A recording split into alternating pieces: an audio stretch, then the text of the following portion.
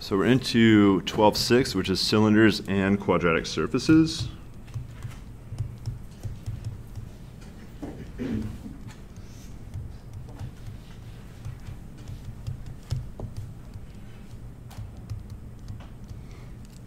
So let's start with a cylinder.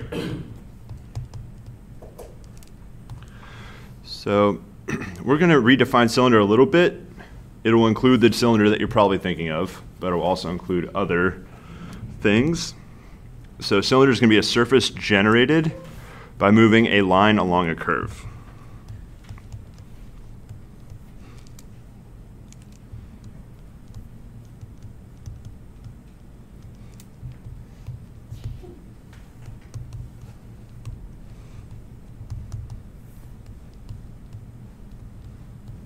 What would it be if you moved like a, you know, a not a hollow cylinder but a full cylinder?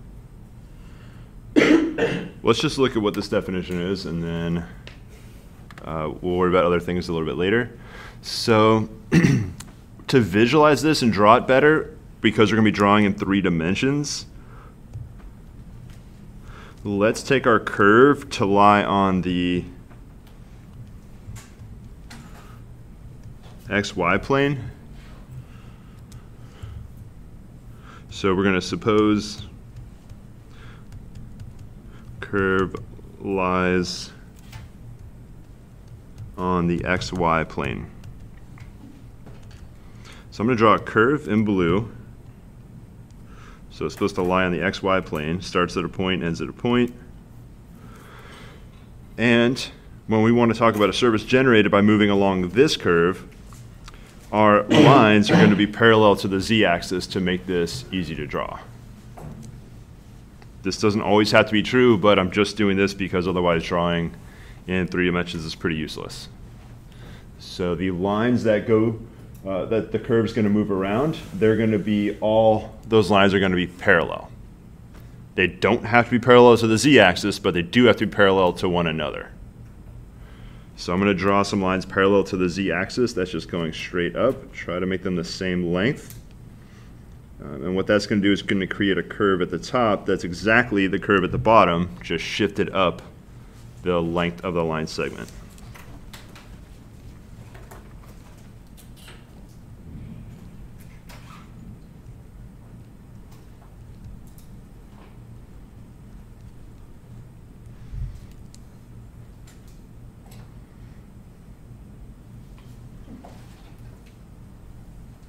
So this is what a cylinder is going to be going to be for us. There's probably one type of cylinder you're thinking of. Let's draw that cylinder and see what type of curve we would be thinking about in that case and how it would match up with our definition. So I'm going to draw the unit cylinder wrapping around the, let's get crazy and wrap it around the x-axis. So it'll be kind of coming out of the paper. So we'll draw that down here.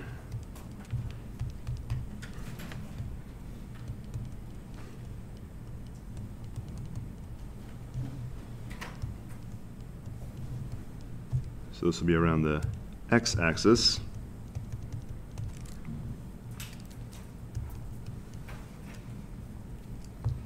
And this will be the unit. Unit meaning radius of 1.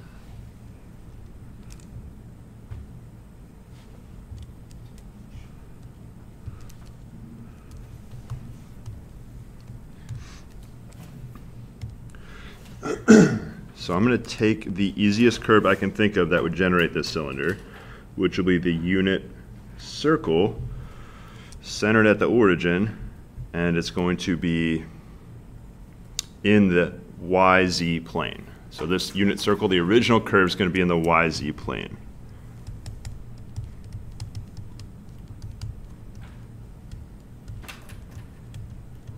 Question? So in this, are we rotating around a point or are we shifting our function kind of? We are going to draw lines coming out of this curve that'll all be parallel. Okay. So I'm going to draw the first line, and I'm going to draw my lines parallel to the x-axis. So I'll just start my first line on the right part of the circle there. So the rightmost point on the circle.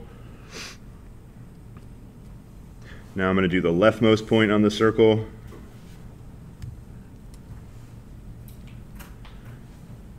Now the top point on the circle. And now the bottom point on the circle. And over here, if I was better at drawing, it would look a little bit nicer. But you should get a copy of the unit circle with a increased x coordinate. So if I drew this, let's say I drew this length, it probably looks like it's length four or so, these lines I drew, if that's the unit circle, then these would be, have length four. I don't want to draw any more lines coming across because it's going to make the picture look too crowded, too much going on. So again, we had the unit circle right here in the YZ plane. Let's write down what equation would that unit circle have in the YZ plane? y squared plus z squared equals one squared.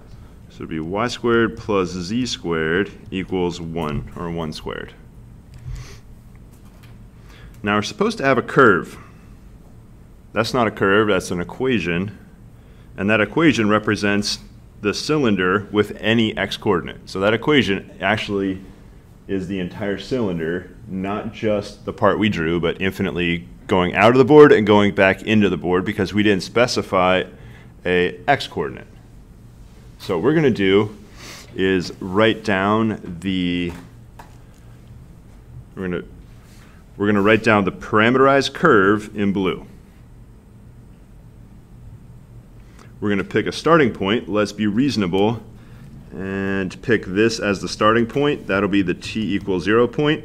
We'll go this orientation, so the usual orientation, and then we'll stop. We can decide I can use 0, I can use 1 for my ending point, or I can use 2 pi. Doesn't matter which one you choose. I think we've been using 1 for the ending value for t, so I'm going to choose 1 to end it. All right, so I need to write a three-dimensional curve. So we got r of t equals, there'll be an x function of t, y function of t, z function of t. So the easiest one to pick is the x. What is the x coordinate of every point on this curve? The blue, just the blue curve. What's their x coordinate, every point of the blue curve? It should be the same number. They're in the YZ plane, so they're all zero. They're not coming out or going into the board at all. So zero is the x coordinate. Now I need a y function and a z function of t that create a unit circle. So it's a little bit weird, but the way I drew it, the y-axis is working like the usual x-axis, and the z-axis is working like the usual y-axis. So cosine is going to be the y value, and sine is going to be the z value. Just for, I'm starting here, I have regular unit circle, and I'm just parameterizing it the usual counterclockwise way. The only weird thing is, x is not involved. This is a y and z uh, unit circle right here. So the y is going to be cosine. I'm intentionally leaving a big blank there. And sine is going to be the z coordinate. So we're going to try guess and check here. I'm just going to put t and t in. We're going to change it in a minute.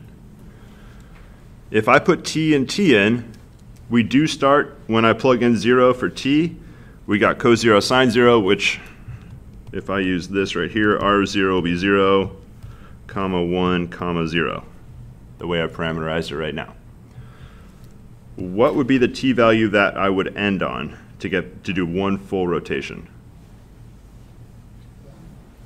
I want it to be 1, but right now, the way I've chosen, it would be 2 pi. That would be one full rotation. What I want to do, instead of doing the circle in 6.28 seconds or in 2 pi seconds, I want to go around the entire circle in 1 second. So let's think about what I need to do here. So when I plug in 1 for t, I want to be back where I started. So I want to have 2 pi, the input to be 2 pi. So I go 2 pi t 2 pi t, that'll speed me up 2 pi times as fast. So now when t is 1, these inputs will be 2 pi. So I'll do one lap in per second right now. So I just sped up about 6.28 times as fast. So now my r of 1 will be the exact same value. I'm just using cos 2 pi and sine 2 pi, gives me 1, 0. If I was doing something more complicated and the orientation wasn't obvious, I would maybe pick 1 half. Well, 1 half would be bad because I'd be on the right side here, or on the left side no matter what, but I pick something like pi, uh, 1 fourth to figure out if I'm going up around or down around.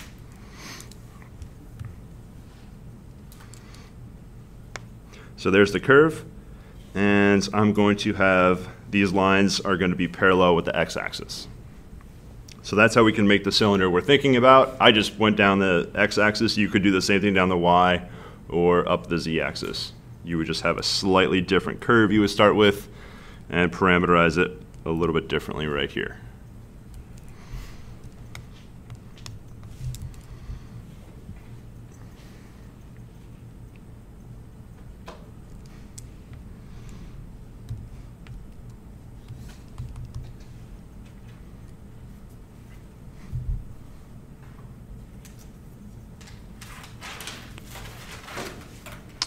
So let's consider the equation y equals x squared.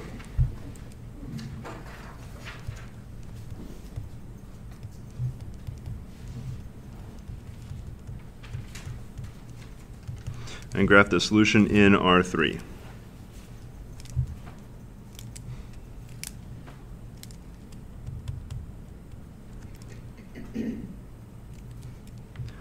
So one way to write the solution in points. So is there any restriction on z from what I wrote down?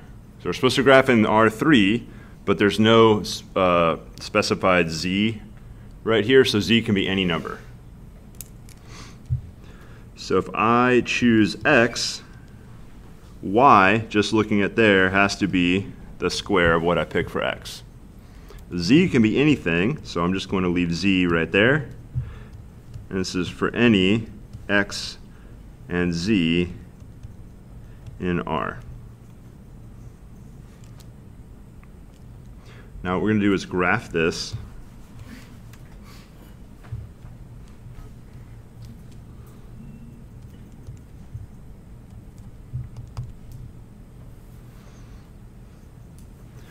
So how do you graph if you're not sure what your graph should look like?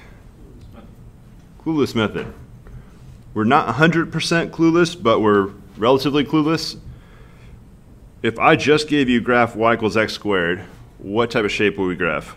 Parabola. parabola. So let's pretend that we don't have a z-axis whatsoever, and let's just graph the super easy parabola. So graph that out, ignore your z-axis.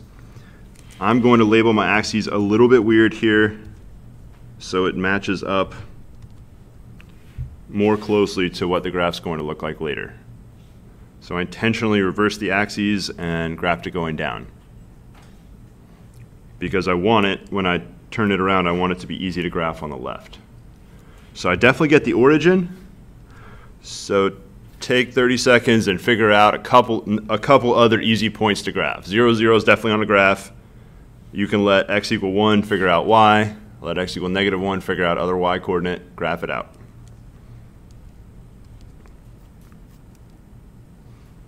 And once you know it's a parabola, if you graph three points, you should be able to draw your parabola off of three points. And I have the vertex here.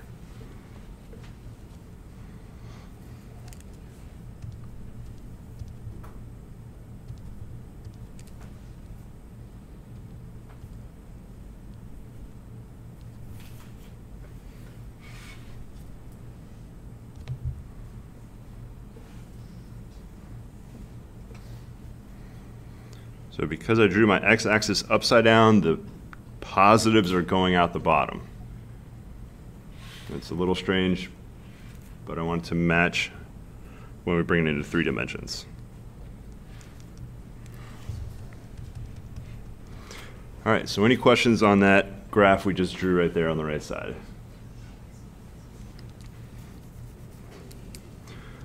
So when I bring that curve into three dimensions, I'm going to switch to blue because that's the color I've been drawing our curve, our original curve in R3. So I'm going to draw that same parabola, but now I'm going to draw it over here. So I have the origin point, and then we'll go one up the y-axis,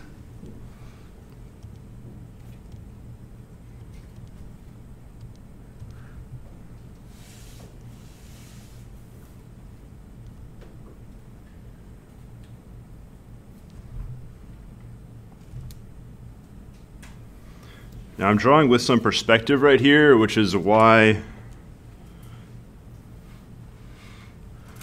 my second two points are not aligned vertically. They're aligned parallel with the x-axis. So are there any questions about, the origin should be pretty clear where that goes, but any questions about those other two points? You could think about the grid, I'll draw a super fast grid, that's basically the grid that I graphed on right there. I'm just copying parallel to the axes right there. You could draw your, go over two, up and down four.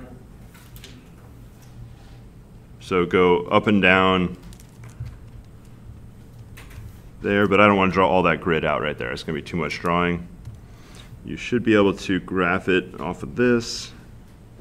It's going to look something like that right there. So that's our parabola. That's our y equals x squared.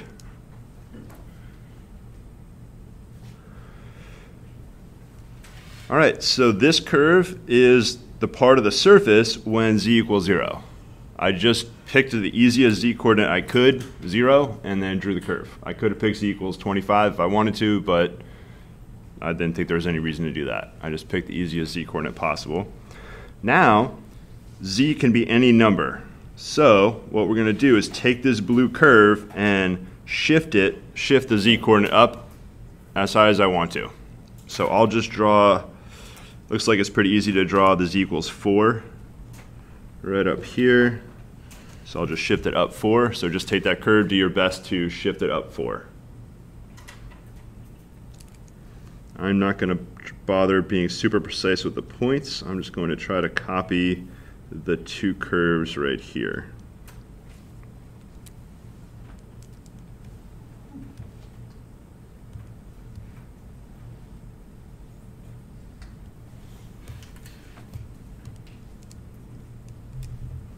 And then we'll connect them with some vertical lines. This is where your drawing can get kind of confusing. So if you have a very light color, to draw this, or if you're an artist, you can use a shading with your pencil or something like that.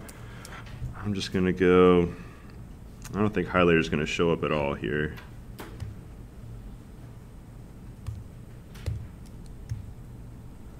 Nope.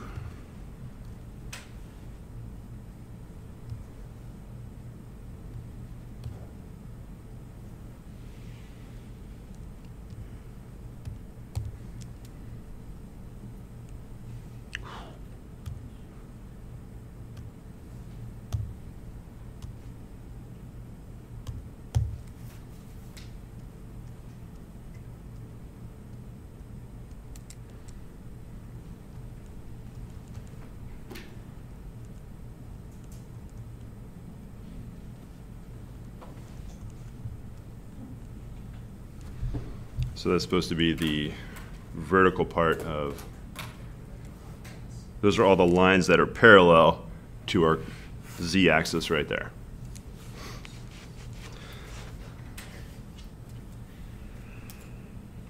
So this equation is quadratic, so what we just drew is a quadratic surface right there. Quadratic means it's got constant terms, linear terms, and quadratic terms. The surface we drew above originally had quadratics in it, so that's a quadratic surface right there. So we're drawing quadratic surfaces right now. And this one right here actually can't be a quadratic surface because it has too many turns. but that's a surface based on maybe a sine curve or something like that. So the last two we drew are quadratic surfaces. Quick question. Yeah. So we have the vertical line test in uh, R2. How would that, does that work at all in like R3 to determine if you see something, if it's not a function or not? So in there would be no you could look at the curves themselves to see if they're functions of, of one of the variables but i can already see from the way the equation was written Yeah. right there if you know your x coordinate you know your y coordinate so that blue curve will be a function of x as long as z is zero as soon as you take off the restriction z is zero, you can pick any point on that surface. For example, that point and that point and that point, they'd all have the same x coordinate. So once you're into a surface, you really don't have a function of any one particular variable. You just, you know, when you uh, zoom out, the lines don't show up very well. For the gray. The gray, yeah. Oh, they don't show up well even zoomed in. Okay, we'll copy them down now while you can see them. So all I'm doing is just connecting parallel with the z-axis right there. So I'll write down linear surfaces, and this will be the general form of a linear surface.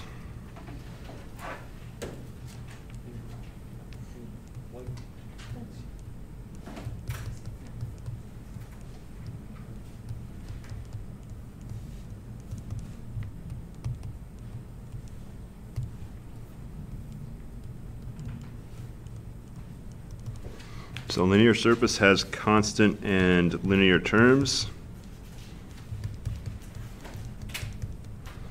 All right, now that you see what algebraically a linear surface is, what would you call this geometrically? There's a special name for this type of surface. If you want to think about how we generated it, it would be generated, take a line, and then parallel, uh, all your cross sections are parallel. What did we draw? Plane? So linear surface, also known as a plane.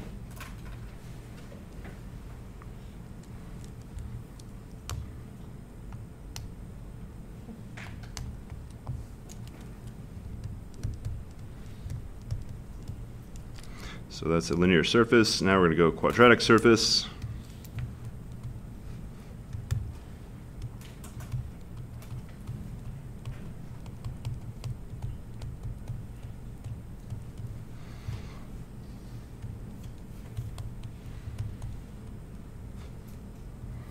Ax squared plus bx plus cy squared plus cy plus d z squared.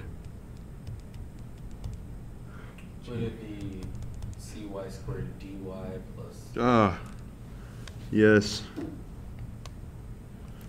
cy squared plus dy plus ez squared plus ef z equals g.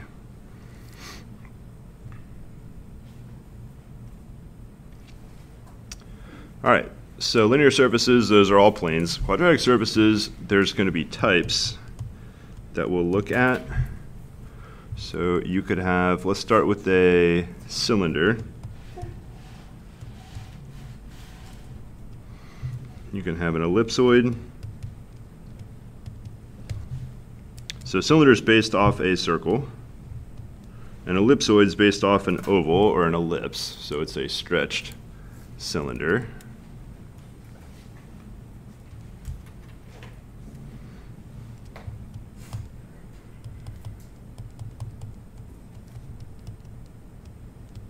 Elliptical curve, and hyperboloids.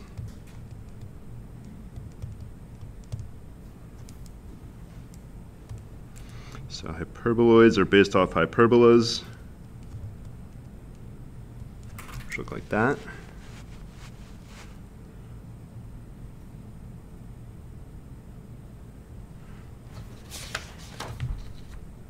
Question? Yeah.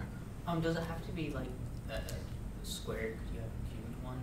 So if it was cubed, it would be a cubic surface. Uh, I don't know, we start running out of names quickly. I don't know that there's a standard name for a degree four surface. But we like see 3D. Hypercube surface or something. Uh, but yeah, we're mostly going to use planes, obviously, and quadratic surfaces. So let's look at some examples.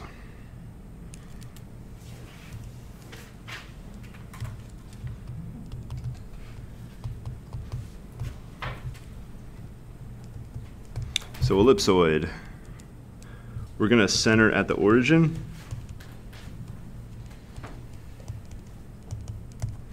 So ellipsoid is going to look like x squared over a squared plus y squared over b squared plus z squared over c squared equals 1, or 1 squared.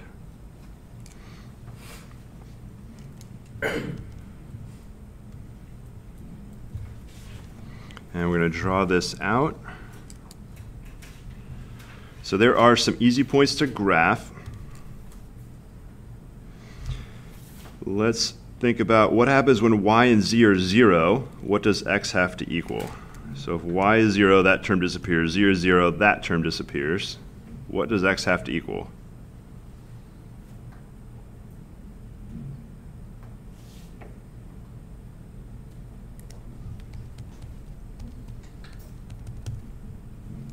A squared plus or minus a. Plus or minus a. So we're picking the easiest coordinates to graph. So we get plus or minus a will be your x coordinate. So how far is a? That far. Just make up some distance. Go the same amount both directions. So we're going to a and negative a. Now when x is 0 and z is 0, what does y have to equal? Plus or minus b. Y will be plus or minus b, so that's how far we go to the right and the left. So we're going b to the right, negative b is to the left. And then last up, when x and y are 0, our z is going to be plus or minus c. So I'll just pretend it's even bigger, and minus c.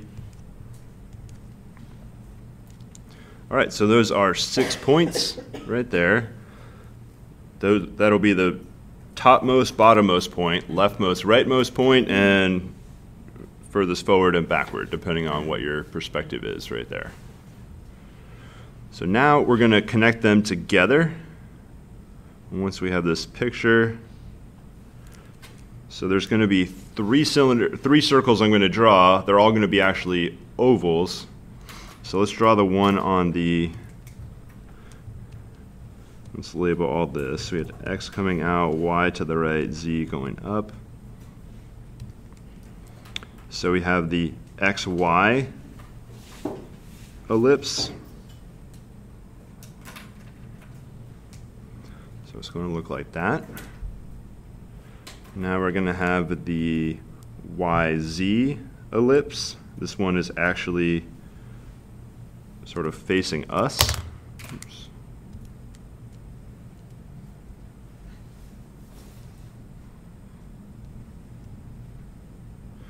And now we'll do the, we did the yx, we'll do the zx.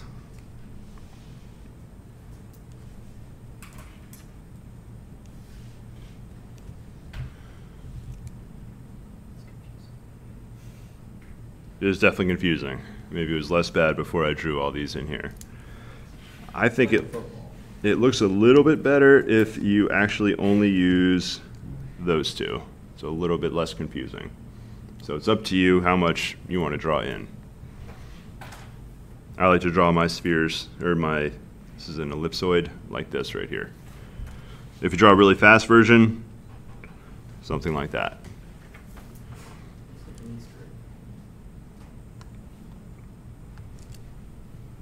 All right, so that's an ellipsoid. Now we're going to draw a hyperbolic paraboloid.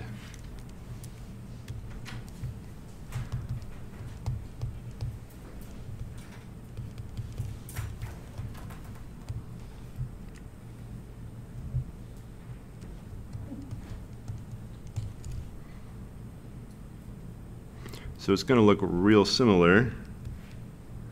y squared over b squared minus x squared over a squared. We subtracted the x squared term. And this is going to equal z over c.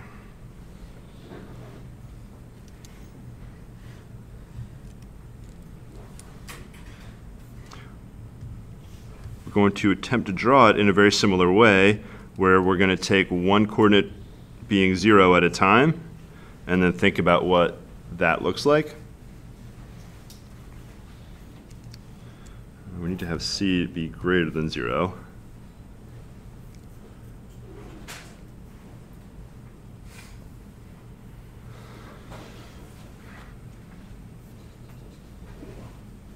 So let's go and pick a z coordinate. Let's choose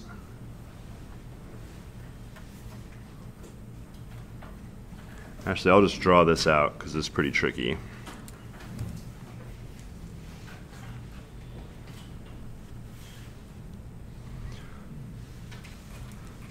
So this is our uh, curve when x equals 0.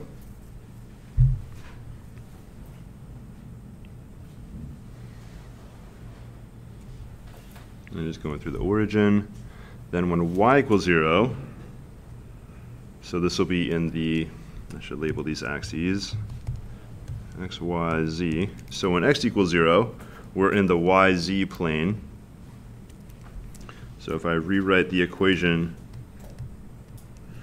when x equals 0, we have y squared over b squared equals z over c. And we multiply by b squared, we have y squared equals b squared over c times z, which is a parabola in y and z. So that'd be a parabola in y and z. That's that green curve we drew right there. And we can do the same. It's going to look really similar when y equals 0.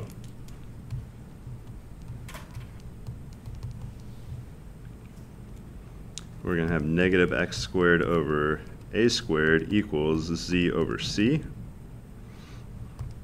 x squared equals negative a squared over c times z. So this is a parabola, but it's going to be a sad parabola.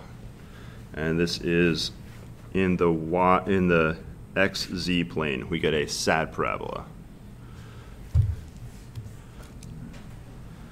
So I'm going to do my best to draw the sad parabola in the yz plane. And I'm going to draw the backside as dotted.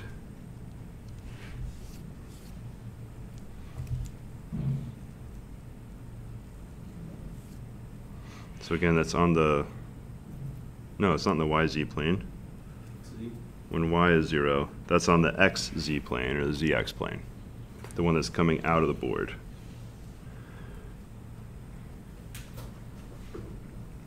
Now I'm just going to draw some other cross sections without computing them all the way out.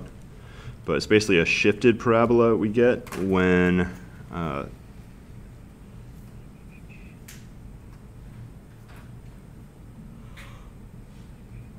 So if we fix a z coordinate, but it's not necessarily zero, we'll still get parabolas.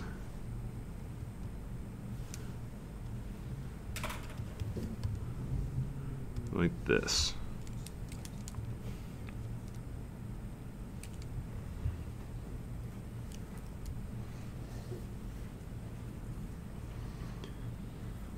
So drawing in three dimensions is pretty tough. So I'm just going to refer you to table 12.1 in your book for all the three-dimensional graphs that are shaded and look pretty. So I'll write that down here. You can see these two that we tried to draw plus a bunch of others.